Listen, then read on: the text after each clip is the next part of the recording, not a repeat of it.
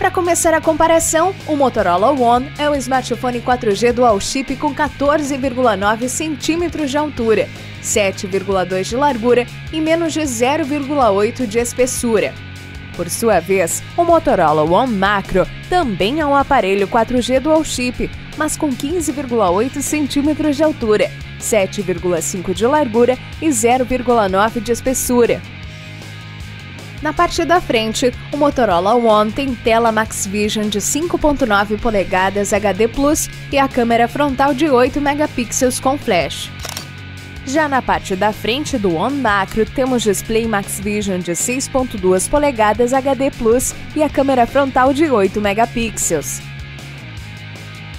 Agora, na parte traseira do Motorola One, vem o sensor de digitais e a câmera principal dupla de 13 e 2 megapixels com flash.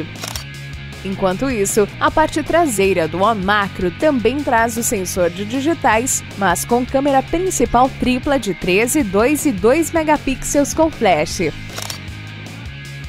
Para rodar jogos e aplicativos, o Motorola One chega de fábrica com o sistema Android 8.1 e processador octa-core junto com 4 GB de memória RAM. Já o One Macro veio com Android 9 e processador octa-core ligado com 4 GB de RAM.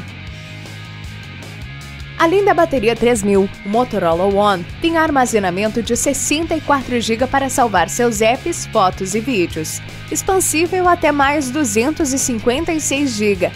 Do outro lado, o One Macro conta com bateria 4000 e com armazenamento de 64 GB, expansível até mais 512 GB em slot híbrido.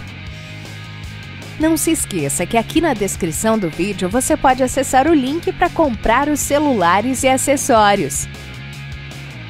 E para terminar, os destaques finais do Motorola One são o Android One, com atualizações constantes para as versões mais recentes do Android e o desbloqueio por reconhecimento facial. E os destaques finais do One Macro são o desbloqueio por reconhecimento facial, as câmeras com inteligência artificial e foco a laser, e o sensor de visão macro. Demais, né? Confira as nossas dicas para os dois celulares, os links na descrição do vídeo e se inscreva também no canal.